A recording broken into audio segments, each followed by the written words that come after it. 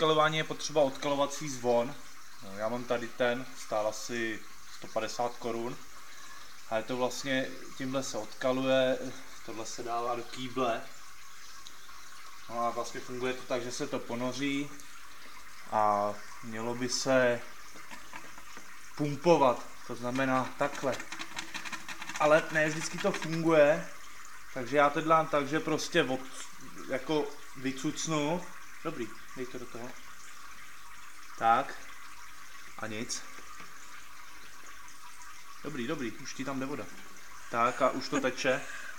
No a vlastně pak se to dělá tak, že se zaboří do písku nebo do štěrku a jede se centimetr po centimetru. No a vlastně tím, jak se jakoby prozdušňují ty, nebo nadzvedávají ty kameny tím zpětným tlakem, tak tím se jakoby pročišťuje ten štěrk a to dno a odstraňuje se detridy a různé nečistoty, které tam vzniknou po těch rybách. Asi tady jenom vypojím topení.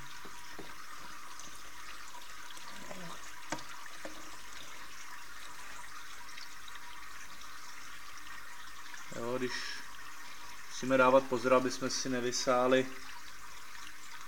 Já tam mám písek, takže dávám pozor, aby mi tam nešel písek. Pojď sem. No, ono se teda zdá, že to nevysává, ale pak když se, podívá, pak když se podíváš do kýble, tak zjistíš, že tam je spousta výkalů a zbytků, co prostě v tom dně zůstanou. Nic těžkého, ale je to potřeba dělat pořádně, jinak se udělají řasy a s těma je těžký boj.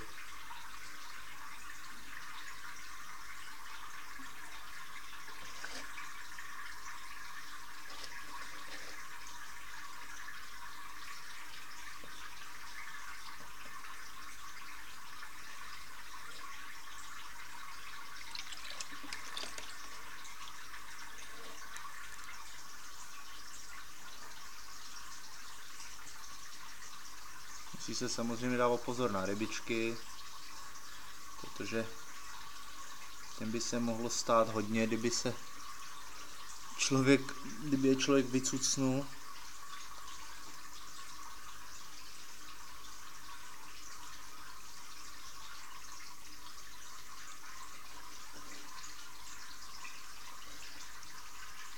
No a to je všechno, no.